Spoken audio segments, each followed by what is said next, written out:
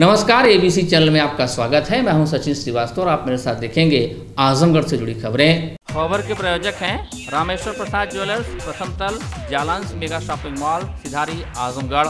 आसान किस्तों पर हॉलमार्क ज्वेलरी प्राप्त करें और वुडन टच भवनाथ आजमगढ़।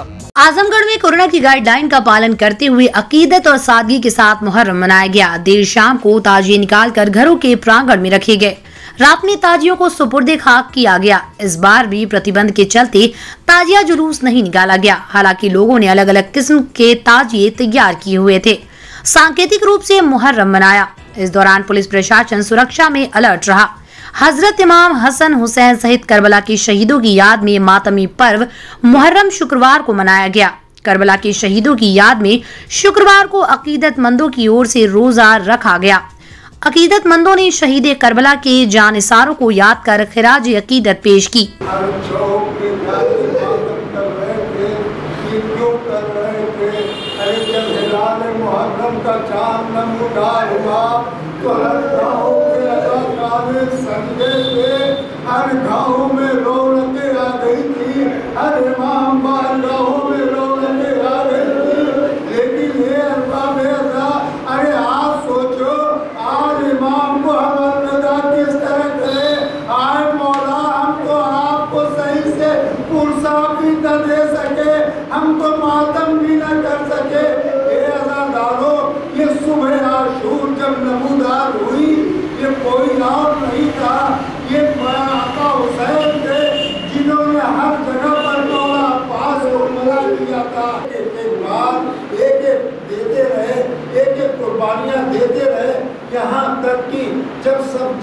शहीद हो गए, कासिम शहीद हो गए बाबा, हमें भी इजाज़त दे दो। एक मरता सर से भी पाँव देखते हैं। देखने के बाद कहते हैं, अकबर अकबर तुम मुझसे क्या मांग रहे हो? गमगीन माहौल में मने पर्व के दौरान करबला के शहीदों की दास्तान सुन हर शख्स रो पड़ा। शिया कमेटी के चेयरमैन सैयद हुसैन ने कहा कि आतंकवाद के खिलाफ ये पहली लड़ाई थी। असल में करबला के शहीदों की याद में ये कोई त्योहार नहीं बल्कि एक शोक है। आज हम लोगों की दस मुहर्रम है जिसमें सीना जनीत और ताज़िया आज के दिन दफन होता है लेकिन शासन का आदेश है कि ताज़िया दफन नहीं होगा। इसलिए अपने अपने घरों में इमामबाड़ों में हम लोग मजलिसें कर कर करके उसे कार्यक्रम को ख़त्म कर रहे हैं। ये हज़रत इमाम हुसैन अलैहिस्सलाम ने जिन्होंने आतंकवाद का पहला वो किया था विरोध किया था उसके लिए हम लोग ये प्रदर्शन करते हैं। हमेशा ये रसूलुल्लाह के नवासे को तीन दिन का भूखा प्यासा करबला में शहीद किया गया। उसी के उपलक्ष्य में, उन्हीं की याद में ये हम गम मनाते हैं। ये हमारा कोई त्यौहार नहीं है, ये हमारा सोग है। जिलाधिकारी राजेश कुमार ने अधिकारियों को निर्देश दिए कि परीक्षा को पारदर्शी, ईमानदारी एवं शुचिता के साथ संपन्न कराना सुनिश्चित करें। उन्होंने कहा कि प्रत्येक परीक्षा केंद्र पर केंद्र व्यवस्थापक सभी कक्षाओं में शत प्रतिशत निरीक्षकों की तैनाती सुनिश्चित करेंगे। उन्होंने कहा कि यदि किसी कक्ष में कक्ष निरीक्षकों की संख्या निर्धारित संख्या से कम है तो केंद्र व्यवस्थापक के विरुद्ध कड़ी कार्रवाई की जाएगी। जिलाधिकारी श्री राजेश कुमार ने उक्त निर्देश आगामी 24 अगस्त को आयोजित होने वाली प्रारंभिक अहर्ता परीक्षा 2021 की तैयारियों की समीक्षा करते हुए दिए। उन्होंने कहा कि ये परीक्षा इस वर्ष की सबसे बड़ी एवं महत्वपूर्ण है। इसे सकुशल एवं नकल विहीन संपन्न कराना हम सबका दायित्व है। उन्होंने कहा कि प्रत्येक दशा में प्रश्न पत्रों की सुरक्षा सुनिश्चित की जाए। प्रश्न पत्रों को कक्षा में ही वीडियो कैमरा एवं छात्रों की उपस्थिति में ही खोला जाएगा एवं सील किया जाएगा। जिलाधिकारी ने निर्देश दिए कि कंपनी बी एवं सेक्टर मजिस्ट्रेट आपसी समन्वय स्थापित कर फुल प्रूफ सुरक्षा में प्रश्न पत्रों को ट्रेजरी से निर्धारित समय से प्राप्त कर परीक्षा केंद्रों पर पहुंचाना सुनिश्चित करेंगे। श्री राजेश कुमार ने केंद्र व्यवस्थापकों को निर्देश दिए कि परीक्षा में किसी भी प्रकार का व्यवधान उत्पन्न न हो, इसलिए सिटिंग प्लान पहले से सुनिश्चित कर लिया जाए। उन्होंने कहा कि प्रत्येक कक्षा में ब्लैक बोर्ड पर केंद्र का कोड बड़े एवं साफ़ अक्षरों में अंकित किया जाना सुनिश्चित करें। उन्होंने कहा कि किसी भी कीमत पर परीक्षार्थी कक्ष में मोबाइल, बैग न ले जाने पाए। उन्होंने कहा कि परीक्षा केंद्रों पर बैग एवं मोबाइल रखने की व्यवस्था सुनिश्चित की जाए। जिलाधिकारी ने परिवहन, रेलवे एवं पुलिस विभाग के अधिकारियों को परीक्षार्थियों को सकुशल लाने एवं ले जाने के लिए आवश्यक व्यवस्था सुनिश्चित करने के निर्देश दिए। उन्होंने परिवहन विभाग को निर्देश दिए कि बसों की संख्या एवं ट्रिप को बढ़ा दिया जाए। उन्होंने कहा कि परीक्षा केंद्रों से बस स्टेशन एवं रेलवे स्टेशन तथा टेंपो एवं ऑटो के पर्याप्त व्यवस्था कराने के निर्देश दिए। जिलाधिकारी ने जीआरपी एवं रेलवे के अधिकारियों को रेलवे स्टेशन पर सुरक्षा के व्यापक प्रबंध के निर्देश दिए। उन्होंने कहा कि स्टेशन पर भगदड़ जैसी स्थिति न उत्पन्न हो इसका ध्यान रखा जाए। उन्होंने कहा कि सक्रिय रास्ते पर खास करके पेट्रोलिंग कराएँ, जिससे जाम की स्थिति उत्पन्न न हो। उन्होंने कहा कि सभी चौराहे एवं प्रमुख मार्गों पर पुलिस की पर्याप्त व्यवस्था सुनिश्चित करें, ताकि जाम एवं अन्य कोई अवरोध उत्पन्न न हो। उन्होंने कहा कि सभी परीक्षा केंद्रों पर संबंधित थाने के अधिकारी लगातार निरीक्षण, निगरानी करना सुनिश्चित करें। जिलाधिकारी ने कहा कि केंद्र व्यवस्थापक किसी भी प्रकार की समस्या, अवरोध उत्पन्न होने पर तत्काल सेक्टर मजिस्ट्रेट अथवा मुझसे भी संपर्क कर अवगत कराएँ। बैठक में अपर जिलाधिकारी प्रशासन नरेंद्र सिंह जिला विद्यालय निरीक्षक डॉक्टर वी के शर्मा, एसडीएम लालगंज तथा अन्य सभी जिला स्तरीय अधिकारी एवं केंद्र व्यवस्थापक उपस्थित रहे। पेट की आज जो है टेस्ट की जो परीक्षा के संबंध में 24 तारीख को दो दो पालियों में होनी है। उसी की तैयारी के संबंध में सेक्टर मजिस्ट्रेट, स्टेटिक मजिस्ट्रेट केंद्र व्यवस्थापक और जो एजेंसी परीक्षा करा रही है, उसके प्रतिनिधियों के साथ बैठक की गई थी। तैयारी बैठक थी।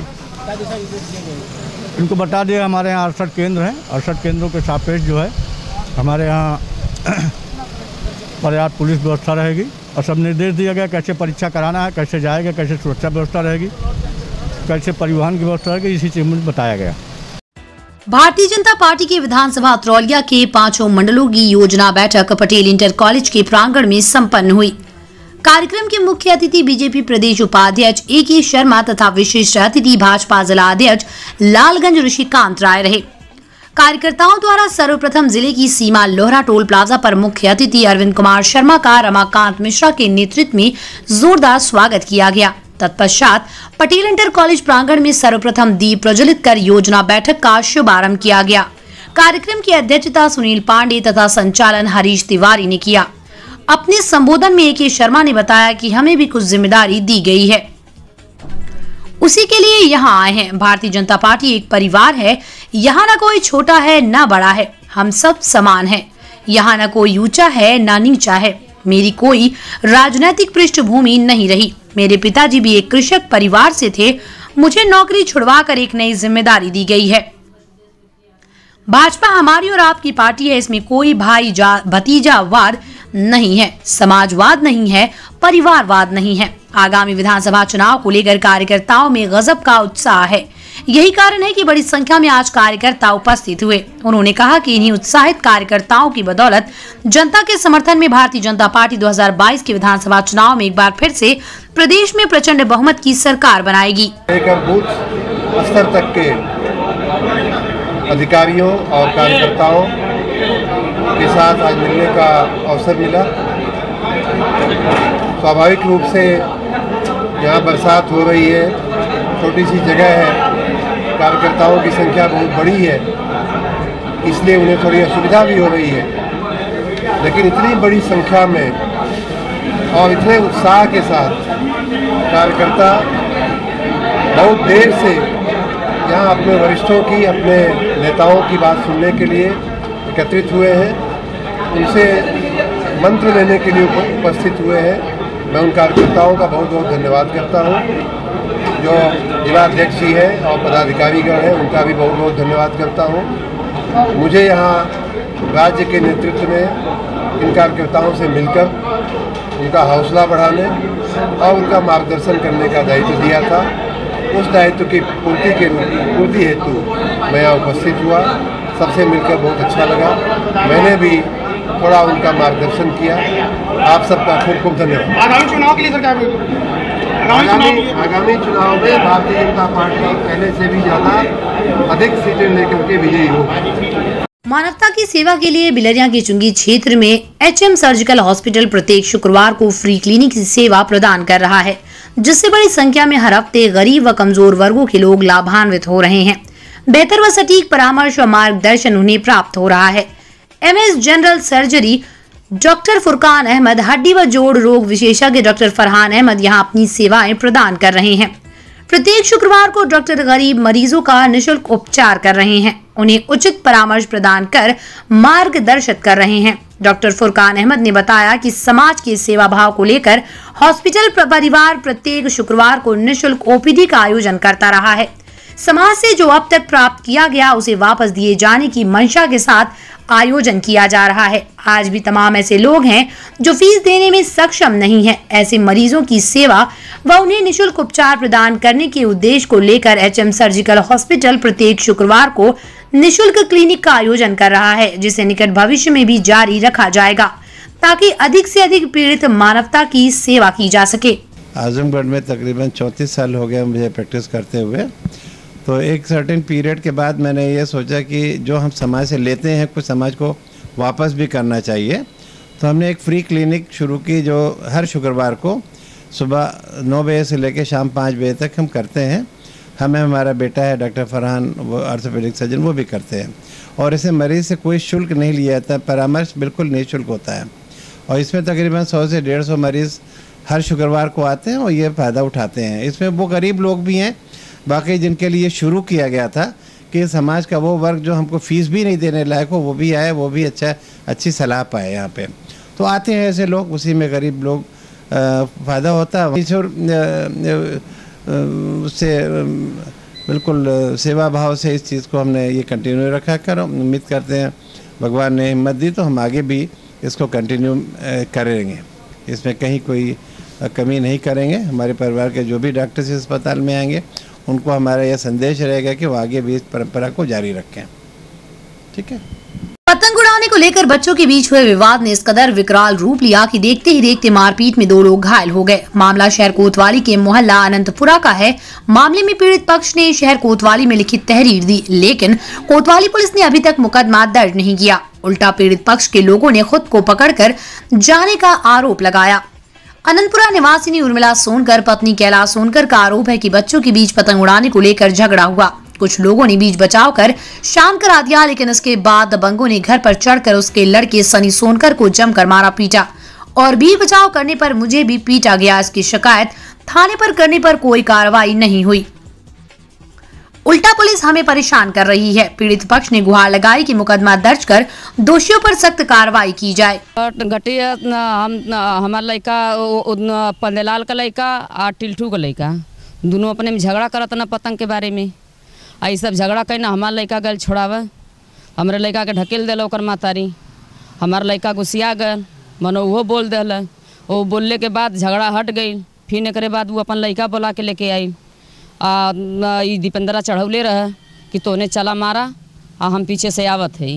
ई आयल आवत डेरी ना पूछत डेरी ना हमारे लड़का के लगल मारा हम लगली छोड़ावे आ हमारे लड़का के मारे लगल तो हम छोड़ावे लगली हमके ई जाके हमरे लड़का के यहाँ जलकुम्भी में उठा के फेंक दिला हमरे लड़का के जलकुम्भी में लाठिन लाठिन मरल बधारी घरे से लेके आयल बधारी में बधारी से मरल ओकर कपार फाट गल लाठिन लाठिन ओकरे पीठी हाथे गोड़े मरल।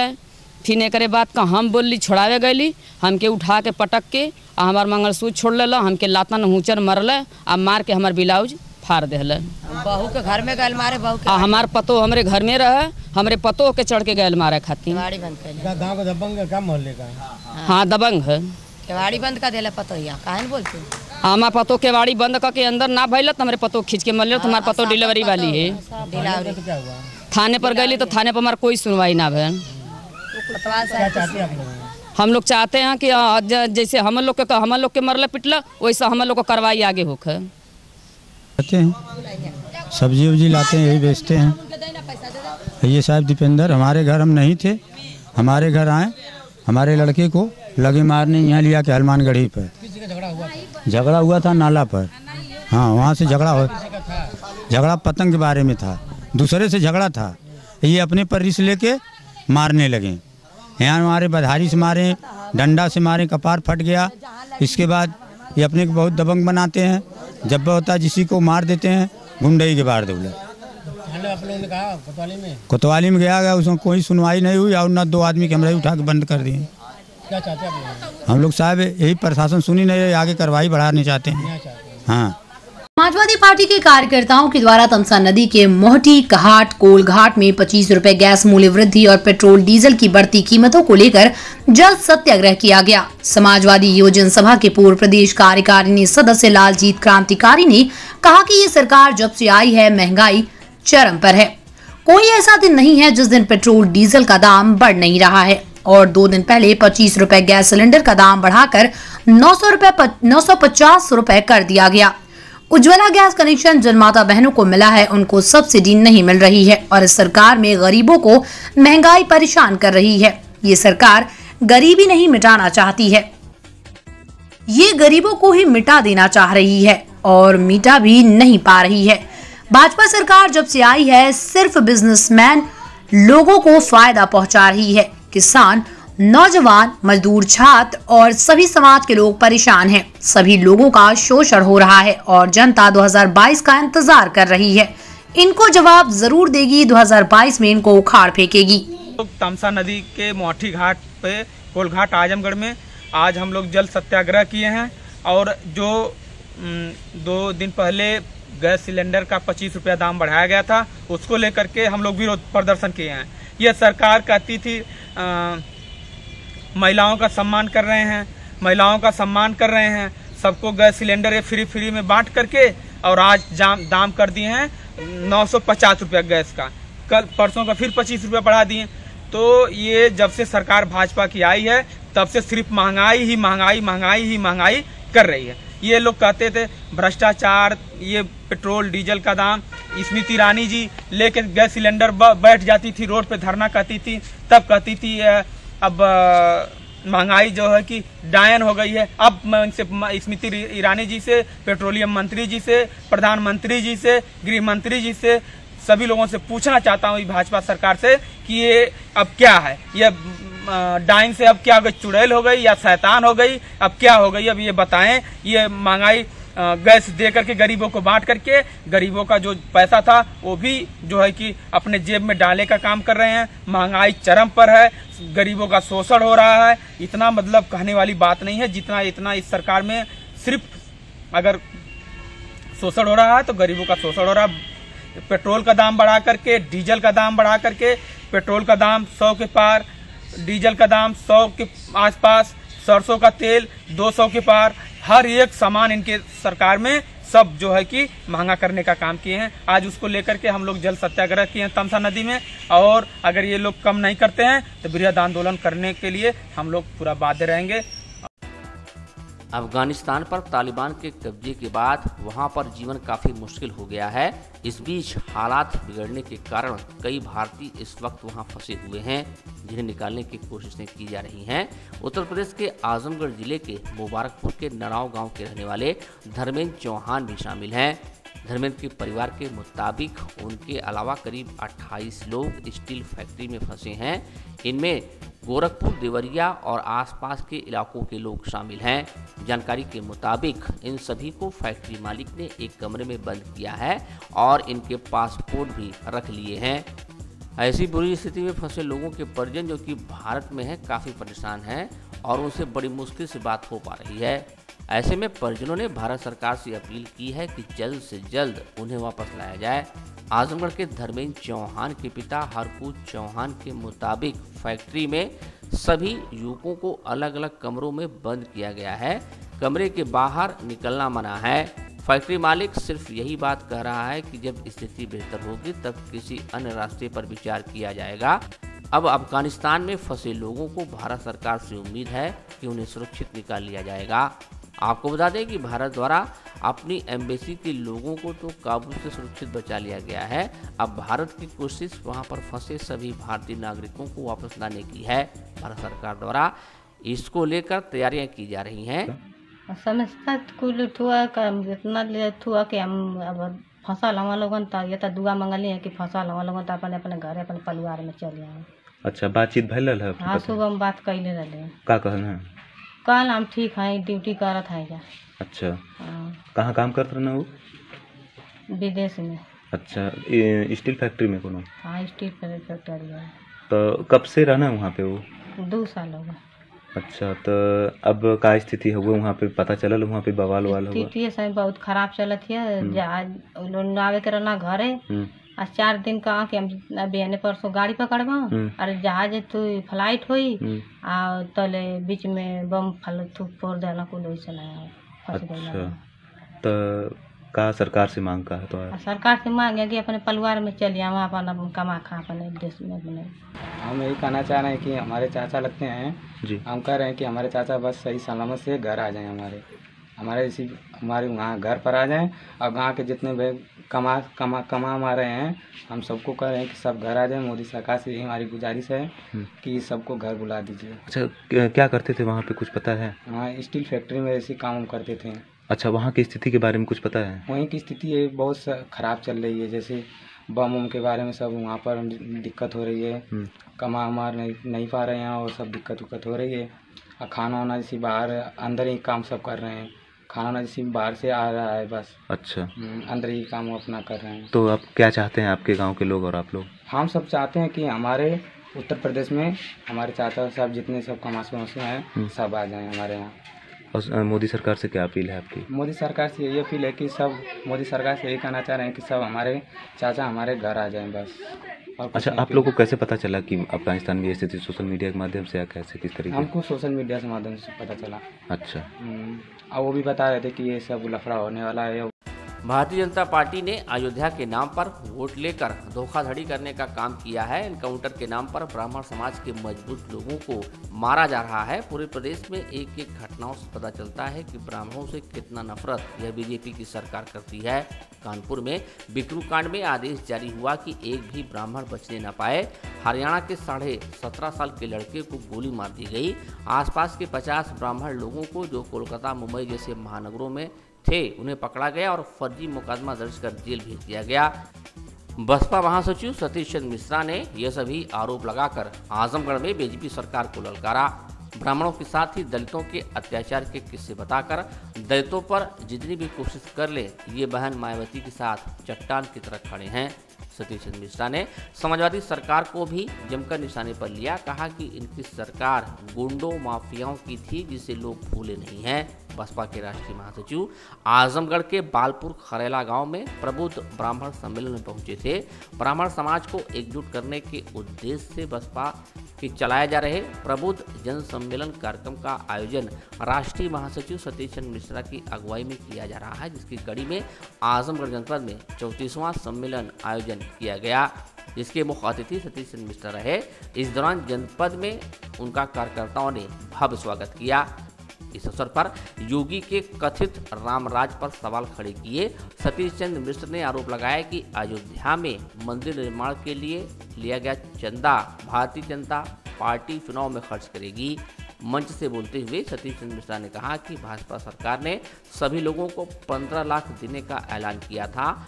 दो करोड़ लोगों को नौकरी देने की बात कही थी, लेकिन नौकरियाँ देने की बजाय छीनी जा रही हैं। उन्होंने दावा किया कि 2022 के विधानसभा चुनाव में बसपा प्रचंड बहुमत से सरकार बनाएगी।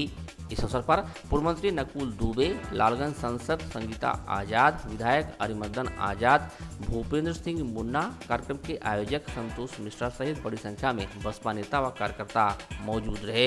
देखिए, आप खुद देख रहे हैं, हज़ारों की संख्या में लोग यहाँ इकट्ठा हुए हैं और कोरोना का सब पालन करते हुए लोग कितना ध्यान से सब बातें सुनी हैं लोगों ने और बहुत ही अच्छा रिस्पांस है ये। और मैं समझ रहा हूँ कि जिस तरीके से इसी तरह का रिस्पांस जो आपने यहाँ देखा है, इसी तरह का रिस्पांस आज हमको हर जगह मिल रहा है। और उससे ये साफ़ साबित हो रहा है कि जितना जैसे जैसे हम लोग बढ़ रहे हैं, वैसे रिस्पॉन्स और बढ़ता जा रहा है। और लोग इतना परेशान हैं, दुखी हैं इस सरकार से कि वो छः महीने भी इंतज़ार नहीं करना चाहते हैं। उनको तो ऐसा लग रहा है जैसे कल चुनाव हो जाए तो इनसे छुट्टी पा जाएँ। इस सरकार से हम छुट्टी पा जाएँ और हम इन, इन इनकी जुल्म जातियों से छुट्टी पाएँ। खास वो इनसे तुरंत छुट्टी पाने के लिए इंतज़ार कर रहा है।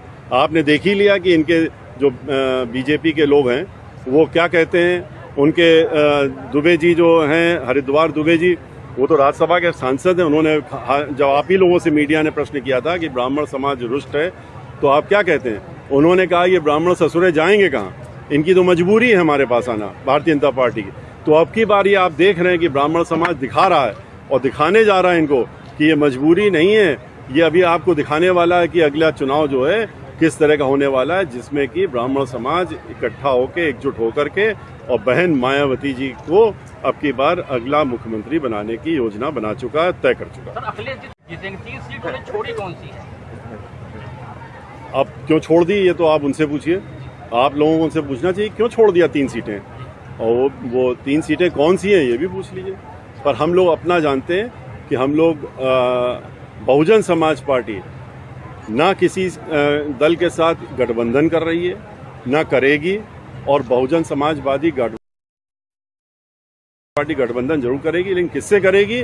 उत्तर प्रदेश की जनता से कर रही है। और वो जनता आपने देखी लिया हम इनके साथ में गठबंधन कर रहे हैं। और हम अपनी पूर्ण बहुमत की सरकार 2007 में जो बनी थी उससे कहीं कहीं अधिक जा करके अब की बार उत्तर प्रदेश में अपनी सरकार बनाने जा रहे हैं। और बहन मायावती जी को मुख्यमंत्री सर अफ़गानिस्तान में कब्जा किया इसके बाद फिर इस देश में ध्रुवीकरण की राजनीति तेज हो गई है। भाजपा उसको अपने पाले में करना चाह रही है एक ध्रुवीकरण देखिए अब भाजपा का इस तरह के जो तौर तरीके हैं लोगों को भटकाने का लोगों को सही मुद्दों से हटाने का, किसान क्यों मर रहा है 500 किसान मर गया, आंदोलन करते करते उनको उसमें कोई फ़र्क नहीं पड़ रहा है। उनकी ज़मीन छीनने का योजना बना दी, हमेशा हमेशा के लिए कानून बना के तीन ठो महिलाओं के साथ हर दो घंटे में उत्तर प्रदेश में दुराचार हर दो घंटे में हो रहा है।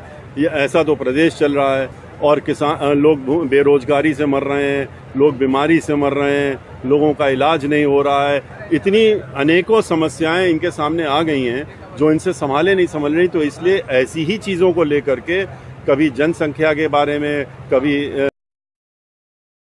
इसमें कि दो बच्चे हों, एक बच्चा हो, कभी कुछ करेंगे, इसी तरह की बना बना करके ये लोगों को भटका मुद्दे से लोग अपनी रोटी रोजी पेट की परेशानी से अलग हट जाएँ और इसमें उलझ के रह जाएँ। और इसीलिए आपने देखा है कि अपने उन्होंने कहा कि प्रचार प्रसार के लिए हर महीने 300 300 करोड़ रुपया खर्चा करते हैं हर महीने। ये तो आरटीआई की इन्फॉर्मेशन है। 300 करोड़ खर्चा होते हैं। अभी फिर उन्होंने हज़ारों करोड़ रुपए खाली अपने प्रचार प्रसार के लिए फिर पारित कर दिया कि वो पैसा पूरा खराब, खत्म हो रहा है। और चीज़ों के लिए नहीं, स्कूलों के लिए नहीं, अध्यापकों के लिए नहीं, टीचरों के लिए नहीं, नौकरी के लिए नहीं तो ये भारतीय जनता पार्टी का असली चेहरा, असली रूप ये जनपद के 80 वर्ष पुराने रघुनंदन प्रसाद, रामेश्वर प्रसाद ज्वेलर्स, आसिफगंज, पुरानी कोतवाली, आजमगढ़ की नई ब्रांच, रामेश्वर प्रसाद ज्वेलर्स, प्रथम तल Jalans mega shopping mall, Sidhari, Azamgarh. हमारे यहाँ सोने, चांदी एवं हीरे की पूर्णतः हॉलमार्क ज्वेलरी 100% वापसी पर उपलब्ध। आसान किश्तों पर हॉलमार्क ज्वेलरी उचित मूल्य पर प्राप्त करें। ज्वेलरी की शुद्धता मापने के लिए फ्री कैरोमीटर की व्यवस्था। शादी विवाह की करनी हो तैयारी या त्योहारों की हो खरीदारी, आपके भरोसे पर हमेशा खरा उतरेगा रामेश्वर प्रसाद ज्वेलर्स। प्रथम तल Jalans mega shopping mall, Sidhari, Azamgarh. Wooden touch Bhavarnath Azamgarh. A complete hardware store हमारे यहाँ branded plywood flush door designer door PVC door Formica fancy hardware kitchen की चिमनी एवं मॉड्यूलर किचन की एक्सक्लूसिव रेंज उपलब्ध। अपने आशियाने में लगाइए चार चाँद, पहुंचिए वुडन टच भवरनाथ, आजमगढ़।